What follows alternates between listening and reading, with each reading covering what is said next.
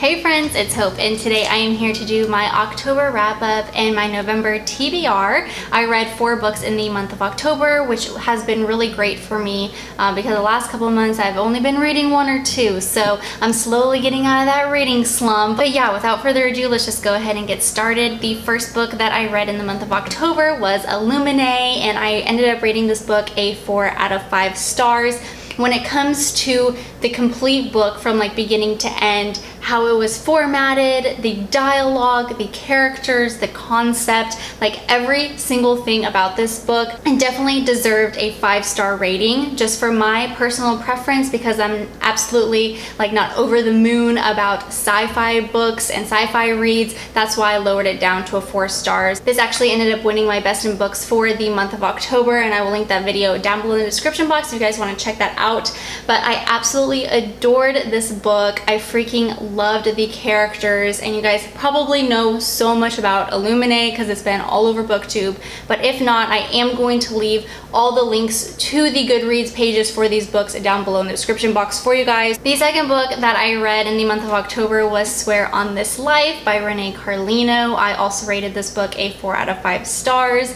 I really adored this book. I did a non-spoiler book review that will also be linked down below in the description box. I had read Before We Were Strangers by her and really loved it and so I was really anticipating and excited to get my hands on her newest book. Definitely check out my review for more of my thoughts and what this book was about, but I'm just gonna leave it at that, friends. It was really good. If you like new adult contemporary romance books, check this one out. I then decided to buddy read Poison Princess by Kresley Cole with my girlfriends, Danielle and Blair. We all work together and we all love to read. And we picked this book up and we had kind of spaced it or planned it out to read like 10 chapters every day. But once we got our hands on this book, it just didn't happen like that. We all read it way quicker than what we originally planned, which was okay. Um, a really great thing about this book is it has an amazing and unique concept. The characters in this book embody tarot cards, which I've never seen before, never read a book, anything like that. So it was really refreshing. The characters were great as well. I'm currently reading the second book and the cast of characters just keep growing and I'm absolutely adoring it. It also takes place in Louisiana.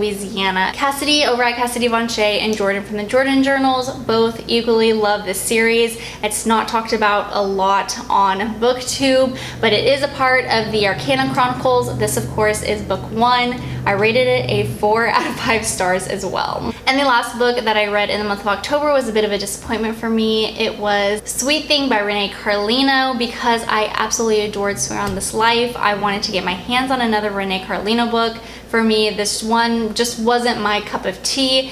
It follows a girl named Mia who is an Ivy League graduate. She really is trying to figure out what life is going to hold for her after she has graduated from her Ivy League school and her father dies and she's kind of put in this position to try and figure out does she run her father's business or does she become a musician and kind of live that free spirit musician life. And of course, with any new adult contemporary romance book, you have to throw a boy into the mixture of things. Right off from the bat, she meets a guy named Will who pretty much embodies everything that she wants for herself as a musician. For me, I felt like through the majority of this read, her and Will's relationship wasn't very believable. He definitely seemed more of like a friend without any romantic interest for the longest time. And then by the time it got there, I just wasn't buying into it. And for that reason, I just didn't enjoy it all too much. I do believe there are a couple more books to the series. I will not be reading it, but I did end up rating this book a two out of five stars. All right, friends, now for my November TBR. For my Goodreads challenge, I put it to 100 books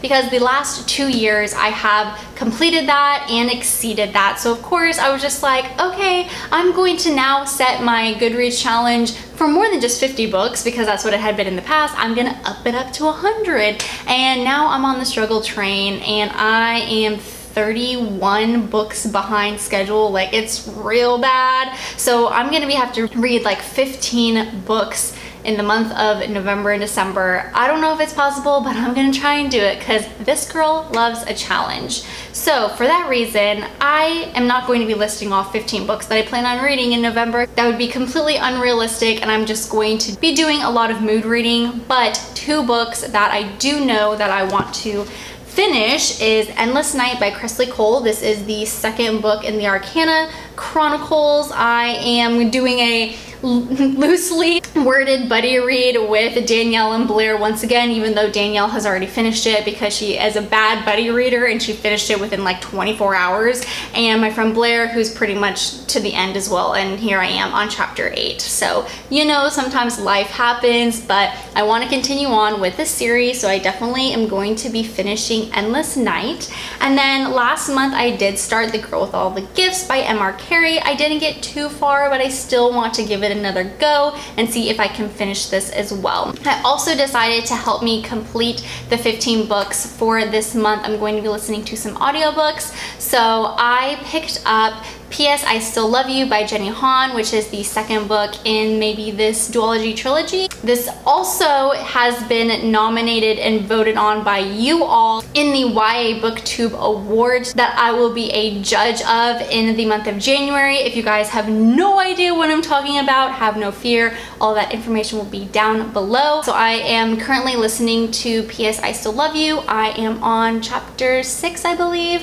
I'm enjoying it, but it seems super juvenile. I know it's YA, but I feel like To All the Boys I Loved Before didn't feel as juvenile as this one does. I don't know, but that's just how I'm feeling right now. I will say though that I really adore the relationship between the sisters right now. I think it's absolutely precious and it makes me miss my sisters, but I digress. Uh, the second audiobook that I'm going to be listening to is this Savage Song by V. Schwab or Victoria Schwab. And I wanna say that this book has to deal with monsters, but I kind of want to go into it a little bit blind, so I haven't done much research. So I'm going into it with a blank mind, which sometimes that could be good, sometimes it could be bad. But yeah, so those are four books that I plan on reading for the month. I have about 11 more to choose from, so I need your guys' help if you guys have any recommendations of books that are really easy reads and reads that you guys think that I would love please let me know down below in the comments. I need your guys' help to help me complete my Goodreads reading goal. But that pretty much wraps it up for this video. Thank you guys so much for watching. I hope you guys have a wonderful day and I'm sure I will see you soon. Bye.